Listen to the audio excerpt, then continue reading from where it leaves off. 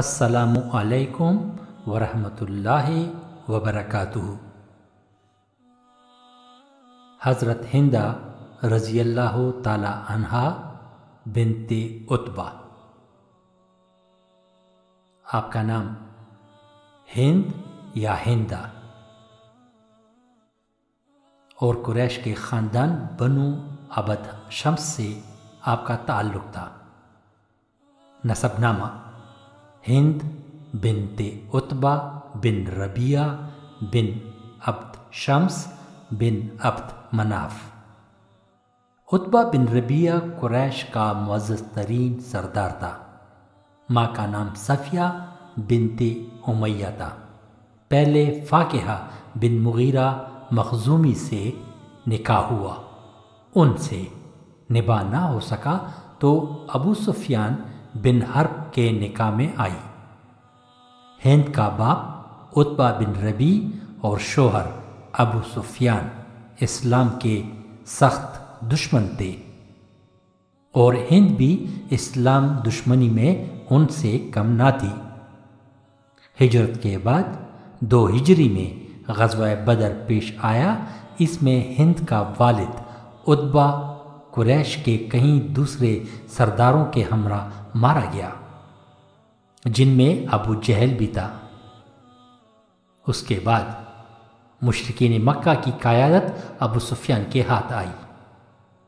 हिंदा ने बड़े जोश व खरोश के साथ अपने शोहर का हाथ पटाया वो बड़ी शोलबयान मुकर्र थी और बाप के कत्ल ने उनके दिल में जज्ब इंतकाम के शोले भड़का दिए थे। संतीन हिजरी में मुशरकिन मक्का ने अबू सुफियान की जेर क़यादत बड़ी तैयारी के साथ मदीने पर हमला किया और गजब उहद पेश आया। हिंद खसूसियत से अपने बाप के कातिल हज़रत हमज़ा रज़ी अल्लाह तु से इंतकाम लेना चाहती थी। चुनाचे उन्होंने जबीर बिन मुतम के ग़ुलाम, वैशी को हज़रत हमज़ा रज़ी अल्लाह तहो के कत्ल पर आमादा किया। वैशी नेज़ा फेंकने में ज़बरदस्त महारत रखते थे। जब लड़ाई का तनूर गर्म हो गया तो हिंद नहायत इश्तियाल अंगेज़ रजस पढ़ पढ़ कर कुफ़ार को जोश दिला रही थी। वैशी गात लगाकर बैठ गए। हज़रत हमज़ा जो ही उनके ज़िद में आए तो उन्होंने अपना नेज़ा फेंका, जो हज़रत हमज़ा रज़ी अल्लाह तु के जिसम के पार हो गया और आप रज़ी अल्लाह तु उसी वक़्त शहीद हो गए। कुफ़ार की औरतों ने उनकी शहादत पर मुसरत के गीत गाए। हिंदा ने जोश इंतकाम में हज़रत हमज़ा रज़ी अल्लाह तहो का पेट चाक करके जिगर निकाला और चबा गई। लेकिन गले से ना उतर सका, इसलिए उगलना पड़ा। रसूल करीम सल्लल्लाहु अलैहि वसल्लम को इस दर्दनाक वाक़ से बेहद सदमा पहुँचा। आठ हिजरी में रसूल करीम अलैहि वसल्लम ने मक्का फ़तह किया और फातहाना शान से दस हज़ार साहबा कराम के साथ मक्का में दाखिल हुए।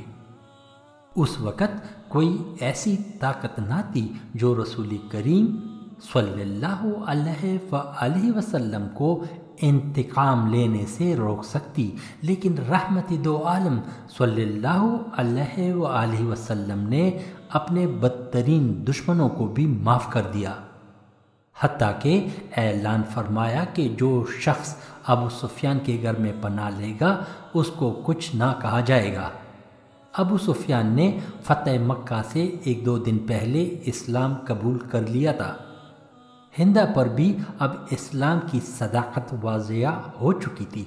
चुनाचे वो चंद बुरकापोश खवातीन के हमरा रसूल करीम सल्लल्लाहु अलैहि वसल्लम की खिदमत अकदस में हाजिर हुई। इस मौके पर हुजूर सल्लम और उनके दरमियान ये गुफ्तगु हुई। हिंदा या रसूलुल्लाह सल्लल्लाहु अलैहि वसल्लम, आप हमसे किन बातों पर बेत लेते हैं? सरवर कायनात। शिरक ना करो और खुदा की वहदानियत का इकरार करो। हिंदा, ये अहद आप सल्लम ने मर्दों से नहीं लिया, ताहम हमें मंजूर है। सरवर कायनात, चोरी ना करो। हिंदा मैं अपने शोहर की इजाज़त के बगैर कुछ खर्च कर डालती हूँ। मालूम नहीं ये जायज़ है या नहीं। सरवर कायनात, औलाद को कत्ल ना करो। हिंदा, हमने तो अपने बच्चों को पाला था, लेकिन जब वो बड़े हुए तो आप सल्लम ने उनको कत्ल कर डाला। रसूल करीम सल्लल्लाहु अलैहि वसल्लम का दामन करम बड़ा कुशादा था।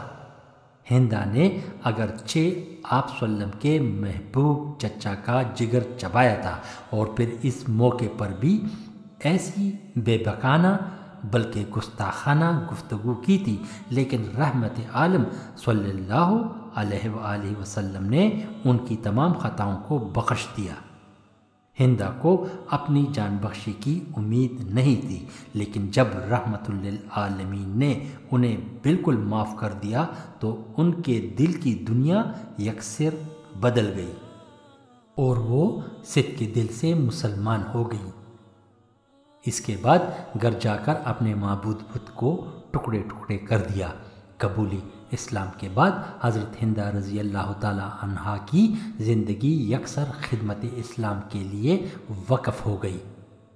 हज़रत उमर फ़ारूक रज़ी अल्लाह तहों के अहद खिलाफत में वो अपने शोहर हज़रत अबू सुफियान के साथ शाम जाने वाले मुजाहिदीन के लश्कर में शामिल हो गई, जिस जोश व खरोश के साथ ये दोनों मियाँ बीवी मुसलमानों के ख़िलाफ़ सफ़े आरा हुआ करते थे। उससे कई गुना ज़्यादा जोश व खरोश के साथ कुफ़ार के ख़िलाफ़ जहाद में हिस्सा लिया और अपने कबूली इस्लाम से कबल की इस्लाम दुश्मनी का कुफ़ारा अदा करने की भरपूर कोशिश की। शाम की जंग में जंगी यरमुख एक ज़बरदस्त और फैसला कन जंग थी, जिसमें कैसर रोम ने अपनी पूरी ताकत जंग की आग में झोंक दी थी। बाज़ रिवायतों के मुताबिक रोमी लश्कर की तादाद दो लाख के लगभग थी और एक रिवायत के मुताबिक दस लाख थी। मुजाहिदीन इस्लाम की तादाद सिर्फ़ तीस और चालीस हज़ार के दरमियान थी।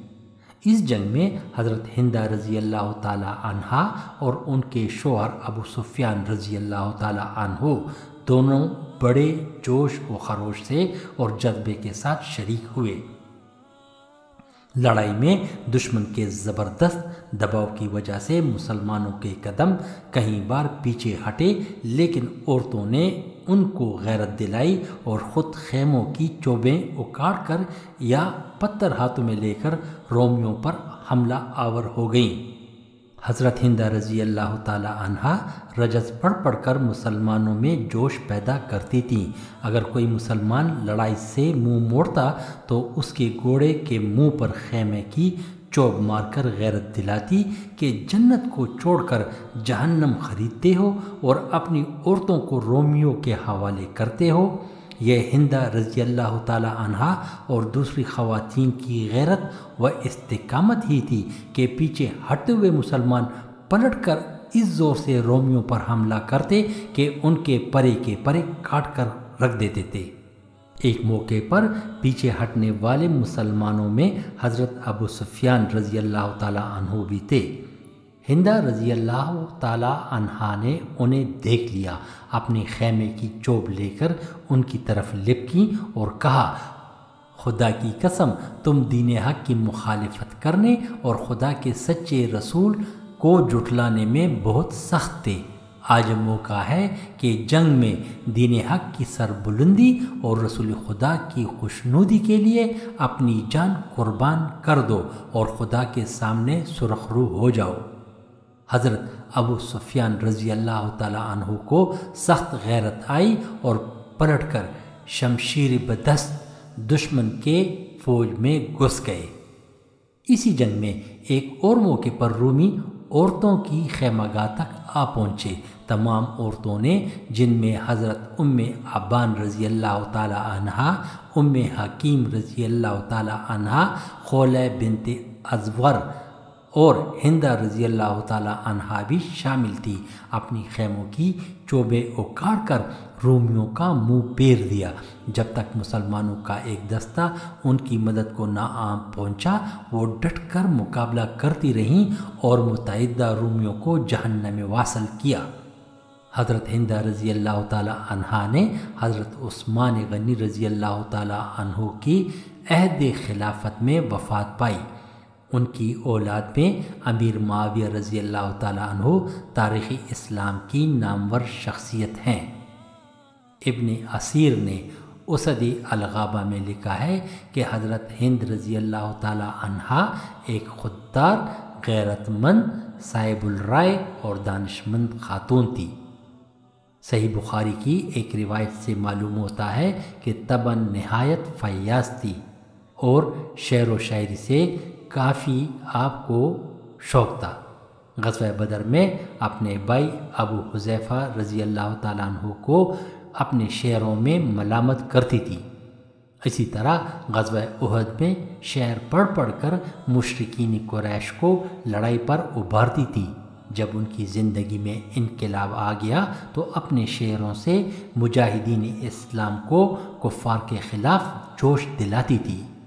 तारीख़ की किताबों में मुख्तलिफ़ लोगों ने उनकी मुतहदा अशार नकल की हैं। इब्न हिशाम ने लिखा है कि हिजरत नबवी के बाद जब हज़रत ज़ैनब रज़ी अल्लाह तहा बिनती रसूलुल्लाह सल्लल्लाहु अलैहि वसल्लम ने मक्का से मदीना जाने के लिए अपना सफ़र बांधा तो हिंदा उनके पास गईं और कहा, ए बिनती मोहम्मद सल्लल्लाहु अलैहि वसल्लम, तुम अपने बाप के पास जा रही हो। अगर कुछ ज़ादरा वगैरह की ज़रूरत हो तो बेतकल्लुफ़ कह दो, मैं मुहैया कर दूँगी। इस रिवायत से मालूम होता है कि इस्लाम से अदावत रखने के बावजूद इनमें रवादारी का फुकदान नहीं था। कबूली इस्लाम के बाद उनके फितरी जौहर खूब नुमाया हुए और उन्होंने सबक ज़िंदगी की तलाफ़ी अपने हसन करदार से कर दी। अज़ीज़ दोस्तों बरए मेहरबानी। इस वीडियो को लाइक भी करें और हमारे चैनल को ज़रूर सब्सक्राइब करें। इस तरह हमारी ये कोशिश इन बहुत से मुसलमान बहन भाइयों तक पहुँच जाएगी दुआओं में याद रखें, सलाहुद्दीन गाज़ी, कनाडा।